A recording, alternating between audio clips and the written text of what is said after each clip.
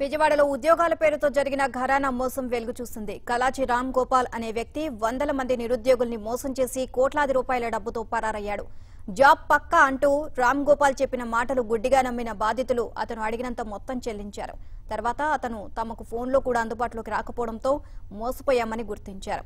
Bhavanipuram police స్టేషన్లో కిరణ్ అనే బాధితుడు ఫిర్యాదుతో జరిగిన కుట్రంతా బయటపడింది.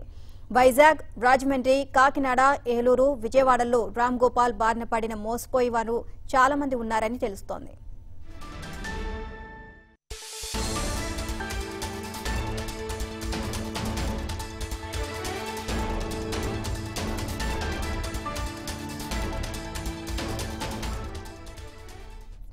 ఘటనకు సంబంధించి మరిన్ని అప్డేట్స్ మా కరెస్పాండెంట్ ప్రసాద్ నడి తెలుసుకుందాం. ప్రసాద్ ఈ రామ్ గోపాల్ అనే వ్యక్తి మొత్తం ఎంత మొత్తం బాధితుల దగ్గర నుంచి దోచుకొని పారిపోయాడు? దీనికి సంబంధించి పోలీసులు ఎలాంటి విచారణ జరుపుతున్నారు? Thank you Neelima.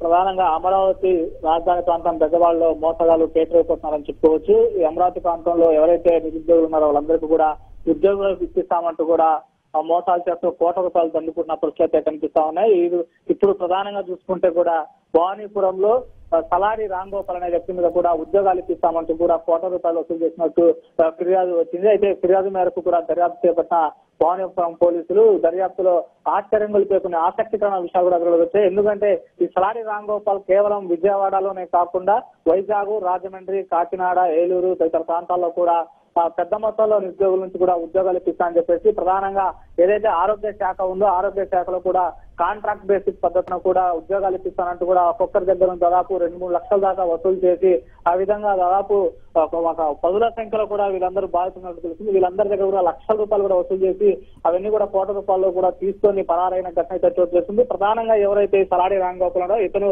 ఏ ఊరు వెళ్ళినా ఏ ప్రదేశం వెళ్ళినా అక్కడ ఎక్కువగా ఈ ఇంటర్నెట్ పాయింట్ అదే విధంగా సమస్య లేడీస్ ఎవరైతే ఉన్నారో బ్యూటీ పార్లర్లు వాళ్ళలో పెళ్ళి కాని యువతలనే టార్గెట్గా చేసుకొని వారికి మాయమాటలు చెప్పి వారిని లోపరుచుకొని కూడా వాళ్ళకి పెళ్ళి పేరుతో కూడా వివాహం చేసుకొని వాళ్ళ దగ్గర సమీపస్తున్నటువంటి బంధువులు అదే విధంగా ఆ ఏరియాలో ఎవరైతే పలుకుబడి ఉన్నారో ఆ మహిళలను కూడా లోపరుచుకుంటూ వారి ద్వారా తను ఒక ఒక బిల్డప్ క్రియేట్ చేస్తూ తనకు రాజకీయ నాయకులు అదే విధంగా ఉన్నత స్థాయి అధికారులు తెలుసు వారి ద్వారా నేను ఉద్యోగాలు ఇప్పిస్తాను చెప్తూ కూడా అందరికీ మాయ మాటలు చెప్పి వాళ్ళ దగ్గర నుంచి నిరుద్యోగుల్ని ఉద్యోగం అనే ఒక ఆశ చూపి వాళ్ళ దగ్గర నుంచి దాదాపుగా లక్షల్లో కూడా డబ్బులు వసూలు చేస్తాడు. చివరికి డబ్బులన్నీ తీసుకున్న తర్వాత కూడా అక్కడ నుంచి ఉడాయించిన పరిస్థితి కనిపిస్తుంది. దీనికి సంబంధించి కూడా ఇప్పటికే భవానీపురం పోలీసులు సిఐ మోహన్ రెడ్డి కూడా దీనికి సంబంధించి ఒక ప్రత్యేకమైన టీం ఏర్పాటు చేసి ఆ రామ్ గురించి కూడా ఇప్పటికైతే దర్యాప్తు చేపట్టారు. ఇతనికి సంబంధించి కూడా అటు ఏలూరు విజయవాడ రాజమండ్రి కాకినాడ ప్రాంతాలే కాకుండా ఇతర రాష్ట్రాలైన కర్ణాటకలో కూడా ఇతనికి సంబంధించిన బంధువులు అదే విధంగా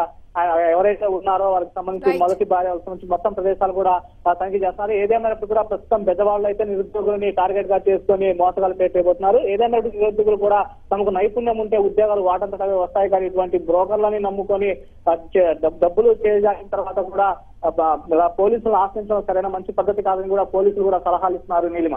Right thank you Prasad